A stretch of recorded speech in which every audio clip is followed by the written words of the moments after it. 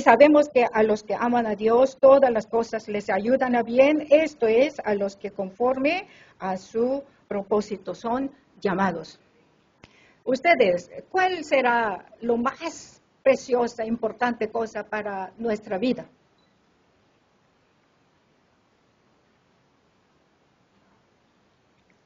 ¿Mm? Ese es amar a Dios. ¿no? nosotros tenemos muchas cosas que eh, tenemos que hacer, algunos se eh, reconoce muy importante, pero yo veo que si amar a Dios de corazón, ese es lo más importante cosas. ¿no? Y también, si tú puedes amar a Dios con todo tu corazón, será persona más feliz en el mundo. Yo veo, todo el mundo quiere ser feliz, ¿sí o no? ¿Quién quiere ser infeliz en este mundo? Todo. ¿Por qué estamos tanto trabajando? ¿Por qué estamos tanto corriendo por aquí, por allá? ¿Mm?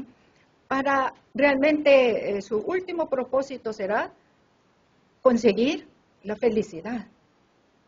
Pero el secreto es de ser feliz es amar a Dios. Es. Allí está secreto. ¿no? Y por eso que oh, una, un estudiante, ¿no? una estudiante, uh, una chica, ella se convirtió y que tenía tanto entusiasmo de evangelizar y siempre está diciendo, yo no puedo vivir sin el Señor, sin Dios, ¿no? Siempre decía, por eso su sobre, sobrenombre es, no puede vivir sin Dios, es, su nombre es, ¿no? Sobrenombre. Un día ella visitó a su pastor y está diciendo, ah, pastor, pastor, me encontró una cosa muy maravillosa, nuevo. ¿Qué es? Es que el pastor pensaba que, ah, tú no puedes vivir sin Dios. Lo que quiere decir esto. No, pastor, yo me encontró una cosa muy maravillosa, es que Dios tampoco puede vivir sin mí. ¿Mm? Eso me encontró, esta verdad yo, yo no puedo vivir sin, Dios y Dios tampoco no puede vivir sin mí. Y por eso que sí, realmente esto, ¿cuándo eh, será posible esto? Cuando nosotros recibimos el Espíritu Santo, cuando llenamos con Espíritu Santo, puede suceder estas cosas, ¿no? Por eso que oh, ¿Ustedes todos tienen algún testimonio que tú has recibido el Espíritu Santo? ¿Podrá decir que sí, eh, Jesús es, mi Señor, mi Salvador? Aunque tú estás allí en una isla donde no vive nadie, aún así tú puedes confesar tu fe en el Señor. Entonces, entonces, tú tienes Espíritu Santo. ¿Mm? Aquí 1 eh, Corintios 12.3 está diciendo. 1 Corintios 12.3. Por tanto, os hago saber que nadie que hable por el Espíritu de Dios llama anatema a Jesús y nadie puede llamar a Jesús Señor, sino por el Espíritu Santo. ¿Mm? Por eso que si no tenemos Espíritu Santo, no podremos confesar que sí, Jesús es mi Señor y mi Salvador.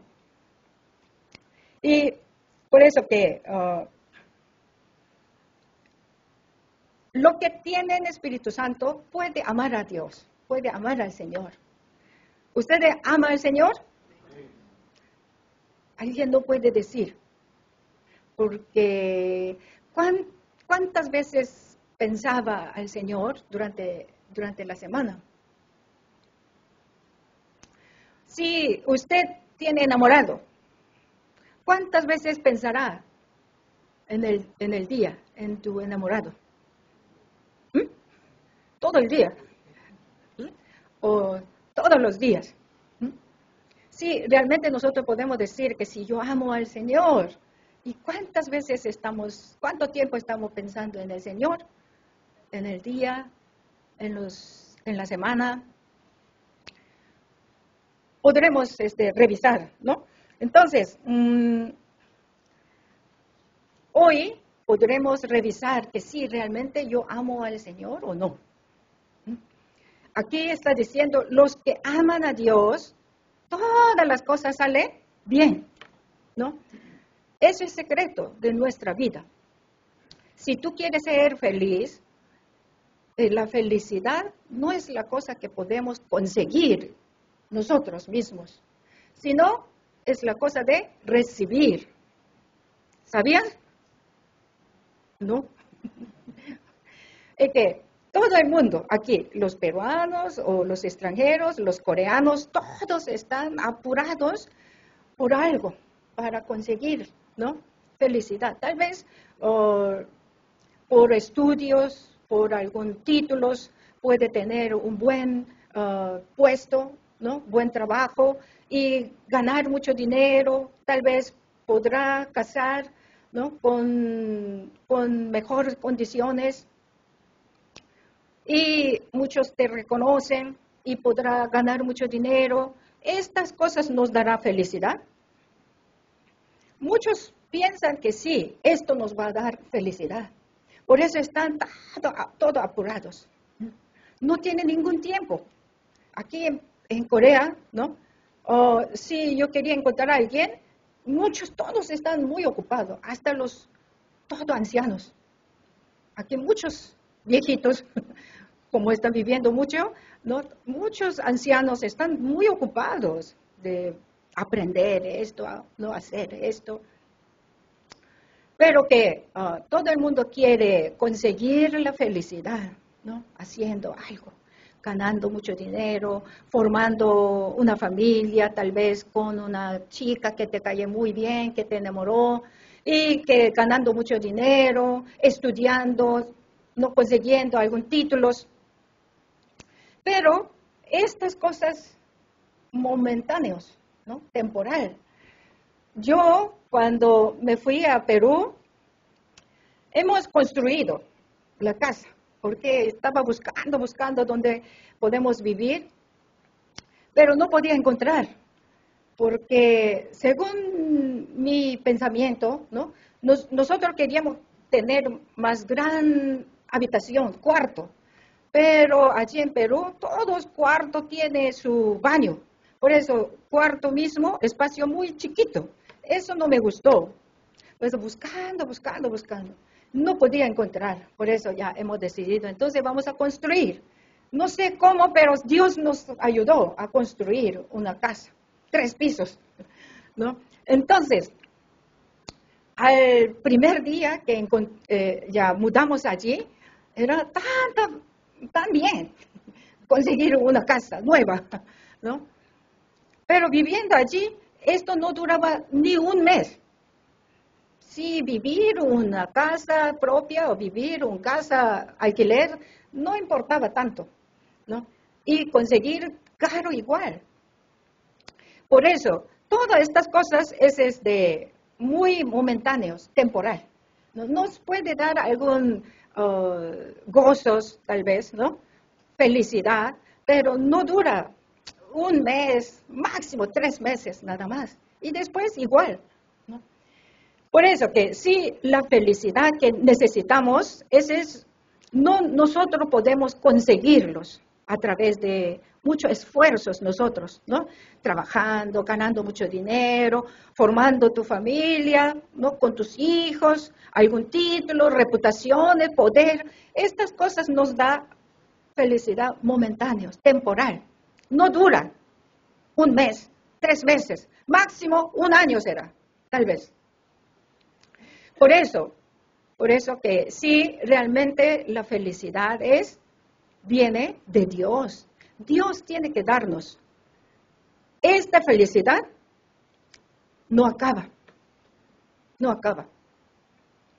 ¿Sabes? Oh, yo, yo he casado con un peruano, ¿no? Ya sabes, otros peruanos ya saben, pero me preocupaba. Cuando tenía que ir a Perú como misioneros, me preocupaba. Ah, sí, allí si me aburro con mi con mi esposo, ¿qué hago yo allí? Si acaba esta felicidad, ¿y qué hago? Porque ya la iglesia me ha mandado allí, yo no puedo hacer lo que me da la gana, separando tal vez, ¿no? Regresando a Corea. Estas cosas no puedo, por eso me preocupaba. en rinconcito de mi corazón. Pero allí Dios nos encargó una iglesia totalmente destruida, ¿no? Totalmente destruida. Y que encargando esta iglesia, recuperando, hacemos todo, toda nuestra fuerza, orando, enseñando, recuperando. Es que como hacemos juntos, hacemos su voluntad, todo, toda nuestra fuerza, esta felicidad no acabó. Esta felicidad siempre nos permitió. Y hasta ahora no me arrepiento. No me arrepiento de casarme con extranjeros o con peruanos, sobre todo, que Dios nos está dando esta felicidad, sigue dándonos, ¿no? Y ya 15 años, 15 años pasó, pero siempre este corazón de amor no se acabó. Y que como estamos en la voluntad de Dios, haciendo su voluntad, amando a Él, es que Dios nos recompensa con felicidades. Eso es la verdad. Por eso, ustedes pueden amar a Dios y si tú puedes sentir esto, ese es gran uh, bendecidos. En este mundo, aunque usted puede uh, tener gran fortunas, gran riqueza tal vez, gran títulos. Pero esto no nos garantiza nuestra felicidad. Por eso que aquí, eh, lo que aman a Dios, ¿cómo podremos saber que sí, yo amo a Dios? Primero, primer este, testimonio, lo que aman a Dios, aman a la iglesia, iglesia del Señor, ¿no? donde, donde puede adorar a Dios, ¿no? Y por eso que sí, ustedes tener su iglesia es gran bendiciones. Aquí es una es de iglesia en ¿no? Ah, latinos. Sí, ustedes identifican, esa es mi iglesia, amando a, a esta reunión, esta congregación y que anhelando de venir aquí ¿Cómo podremos ver, eh, que cómo eh, eh, Jesús, Jesús cuando entró al templo de Dios, allí estaba lleno de negociantes, ¿no? ¿Recuerdas? ¿Y qué, qué hizo Jesús? Allí revolcó todo, ¿no? Limpiando y reprochando todo. No ensucies el templo de mi Padre. Este celos, eh, si tú amas a alguien tanto, no tienes celo. Si no tienes celo, eso no es un amor puro, parece. ¿no? Nuestro Dios también tenía este celo por nosotros, por el templo de Dios. Y por eso que cuando vio cómo actuó este Jesús, aquí Juan 2.17, los discípulos, ellos recordaron la palabra, que dice, eh, Juan 2.17. Entonces se acordaron sus discípulos que está escrito, el celo de tu casa me consume. Cuando Jesús estaba limpiando todo este templo de Dios, eh, los discípulos recordaron estas palabras, ¿no? Así, cuando tenemos este celo, si tú amas a alguien, si esta persona está haciendo otra cosa, tendrás celos, ¿sí o no? Por eso, algunos enamorados, ¿no? Y que cuando está muy enamorado y otros no quiere responder por ti, entonces, ¿qué haces? Algunos oh, quería suicidarse, ¿no? Algunos que hacen todo bullas, escándalos. ¿Por qué? Porque aman, ¿no? Porque ese es amor.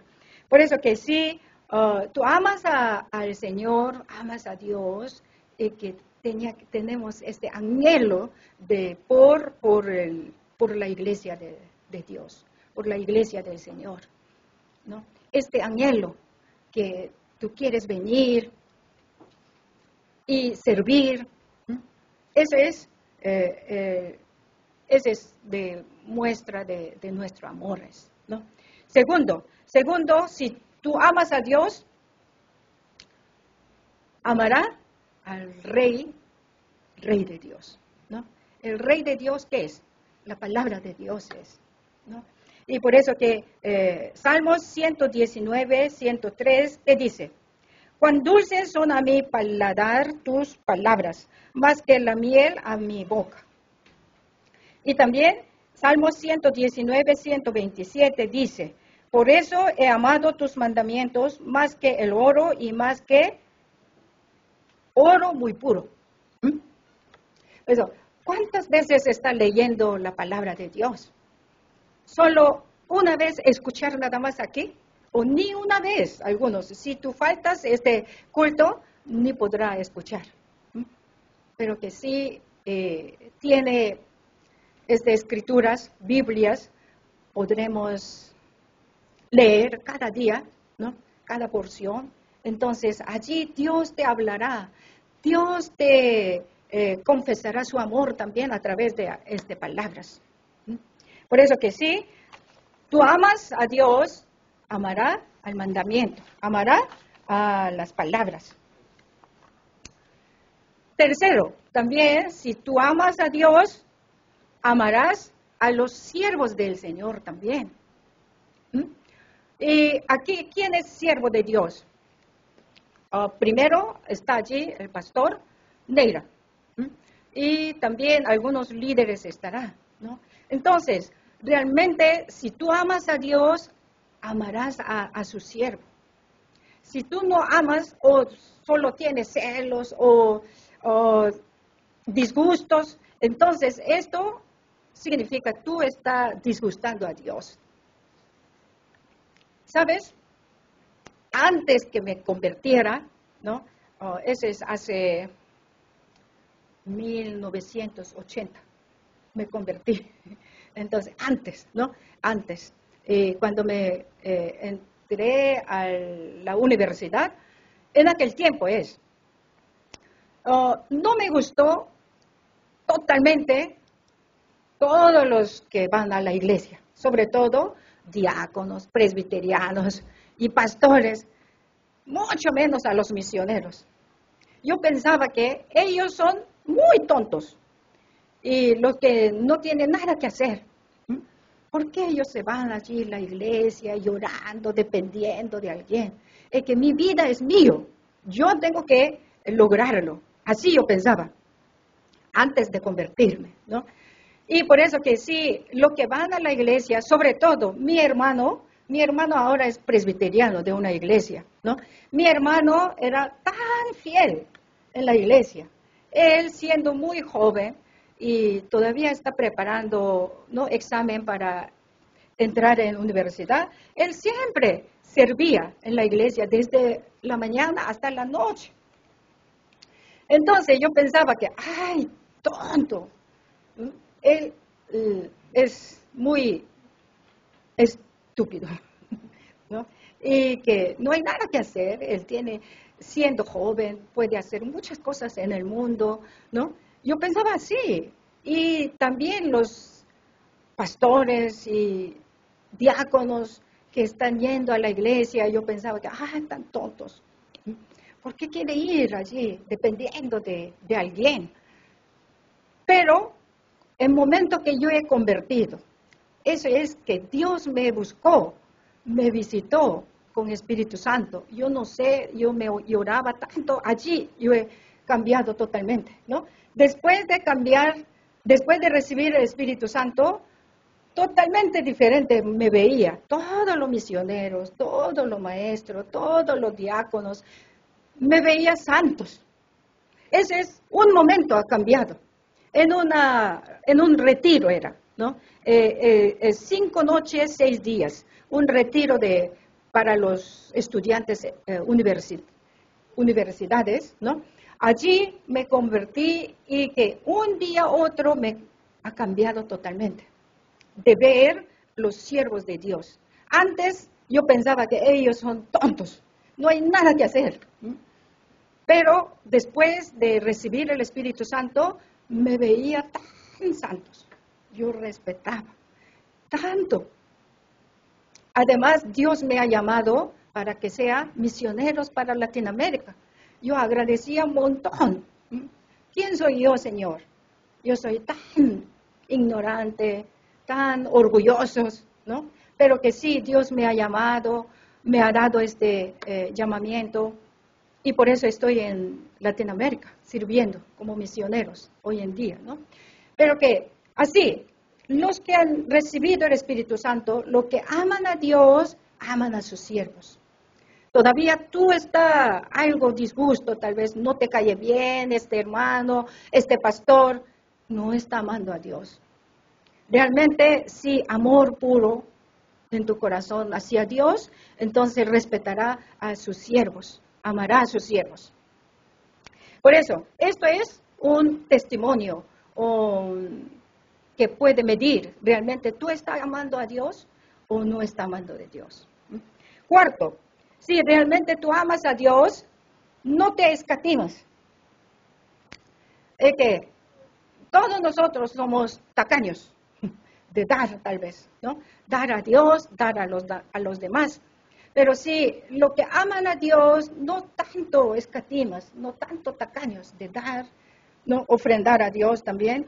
Por eso, Mateo 6, 21, ¿qué dice? Señor, porque donde esté vuestro tesoro, allí estará también vuestro corazón. ¿Dónde está tu tesoro? Allí está tu corazón. Pues lo que no pueden dar tu tesoro. ¿Tesoro qué será? ¿Mm? Tesoro. Tu dinero.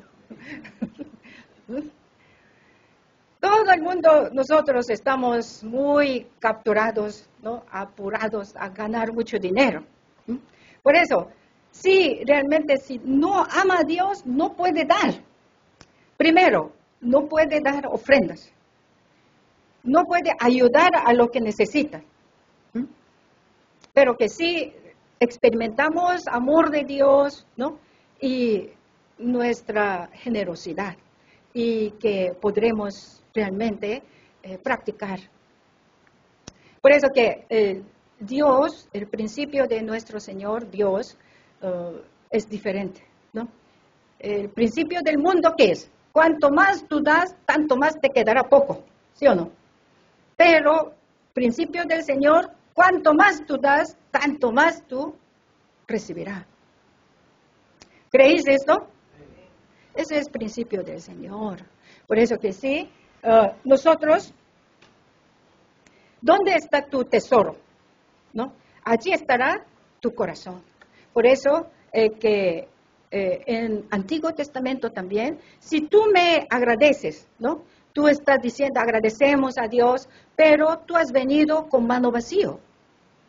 Dios está reclamando. Por eso que sí, tú no puedes sacar tu dinero para Dios, para los que necesitan, todavía no ama a Dios, ¿no? Podremos revisar nuestro corazón. Por eso que sí, Mateo 6, 19, 20, ¿qué dice? ¿Algunos pueden leer? ¿No tiene Biblias? Español. 6, 19, 20.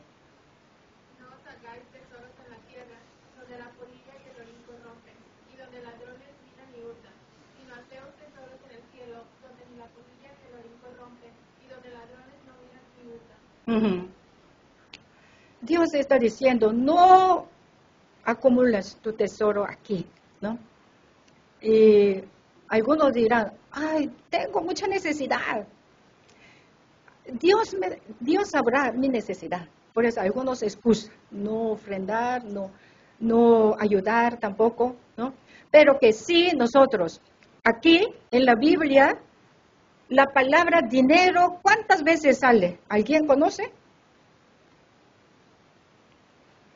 Aquí está saliendo la palabra sobre dinero 2.500 veces. ¿Sabías? La palabra fe, 500 veces nada más. La palabra de amor, mil, no, 800, algo así, ¿no? Entonces, ¿por qué Dios está mencionando tantas veces, 2.500 veces? Porque Dios sabía que hoy en día muchos, uno de ellos, si tú estás uh, adorando al dinero o tú estás adorando a Dios, uno de ellos es. Aunque cuerpo está aquí delante, en, en la iglesia, pero nuestro corazón adora a Él. Eso, ¿qué dice? Mamonismos, ¿no? Por eso.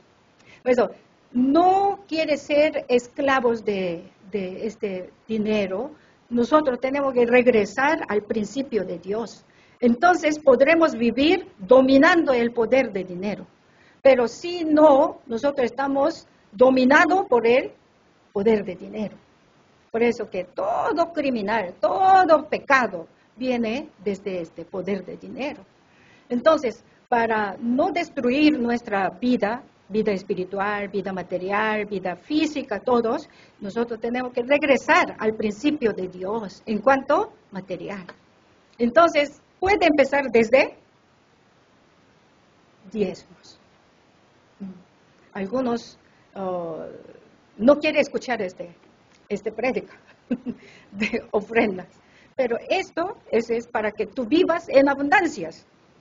Ese es principio de Dios aunque me pegues, pero yo tengo que decir. ¿no? Entonces, realmente si tú amas al Señor, ¿dónde está tu tesoro? ¿No? Y realmente tú tienes mucha tacanez de, hacia Dios, hacia los demás. Realmente tú tienes mucha generosidad hacia Dios, hacia los demás. No solo hacia Dios. Ah, yo cumplí diezmos. No solo esto. Si Dios te mostró a alguien que necesita, entonces también que podemos ayudar. Entonces, esto es como si tú estás sembrando. Si tú siembras, si llega tiempo, cosechará. ¿Sí o no? ¿Mm? Si tú no has sembrado nada, ¿cómo puede esperar cosecha? Cuanto más tú has sembrado más, tanto más cosechará. ¿Sí o no? ¿Mm? Por eso que sí tenemos que sembrar.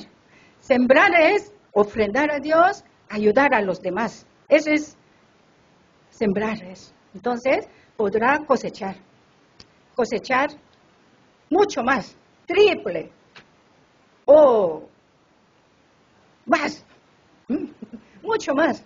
Muchos tienen testimonios de esto. Por eso que no quiere experimentar esto, esta bendición, nadie quiere. Bueno, si amamos a Dios, eso significa amar, no seas tacaños a Dios y a los demás. ¿Mm? Allí podremos ver. Sexto, quinto, quinto, si tú amas a Dios, recordará el día del Señor. El día del Señor, ¿cuándo es? Hoy, domingo, ¿no? Nosotros estamos guardando como el día del Señor, domingo. Pero en Antiguo Testamento, cuando guardó? Sábado, como oh, el día reposo, ¿no? Ese, el, de Antiguo Testamento, oh, querían recordar eh, la creación de Dios, ¿no? Creación de Dios y también de éxodos, de, ¿no? Salvación desde éxodos. Por eso, en tiempo de Antiguo Testamento, ellos guardaron el día de reposo, que es sábado. Pero hoy en día nosotros estamos guardando domingo. ¿Por qué? Porque nosotros estamos recordando el día de resurrección del Señor Jesús, ¿no? Ese es primer día de la semana.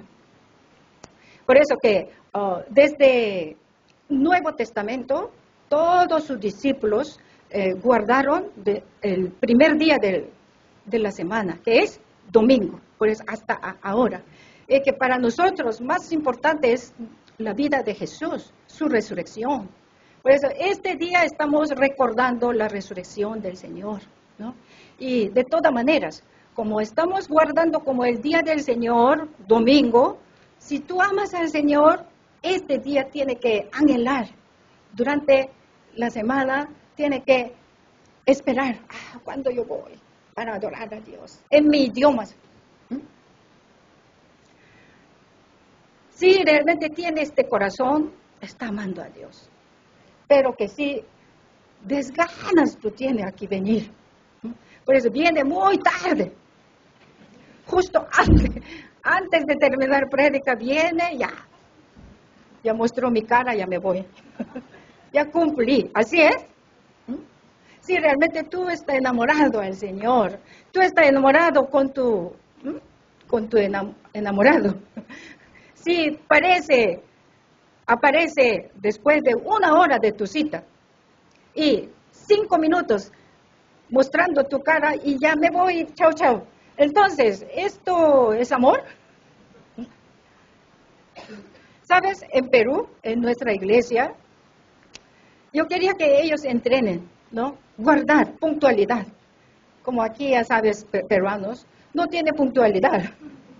Por eso yo quería entrenarlos, por lo menos con Dios, tiene que guardar tiempo, ¿no? Y por eso empezamos a cerrar la puerta. Si más viene más de 11 de la mañana, no podía entrar. Para realizar esto hemos anunciado un mes. Tal fecha vamos a cerrar la puerta. Y esa fecha todo estaba aquí. Ni uno ha, tardado. Significa, ellos podían hacer. El problema es que tanto relajados. Y por eso que uh, dos, tres meses está guardando muy bien, ¿no? Nosotros, de todas maneras, a las 11 empezamos el culto. Pero ya tres meses después, ya otra vez se está relajando, relajando. Entonces, otra vez ya vamos a cerrar. Así estamos entrenando nuestra puntualidad con Dios.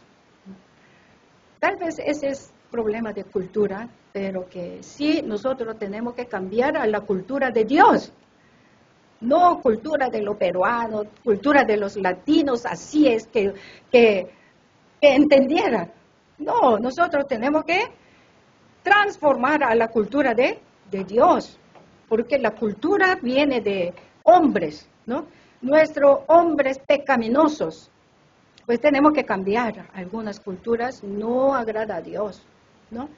Y por eso que sí, uh, lo que aman a Dios, que tengan tanto anhelo de venir aquí guardando el día del Señor, escuchando su palabra, todos juntos como el pueblo de Dios, adorar juntos. Allí Dios quiere bendecir con su palabra y con su Espíritu Santo. Por eso que sí, en el culto del domingo, si tú no tienes éxitos encontrando con el Señor, experimentando su presencia, entonces fracasará todo tu día de la semana.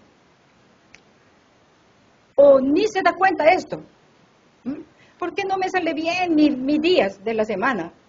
Tal vez tú no, no tenías éxito del culto del domingo. Nada podía experimentar con la presencia del Señor.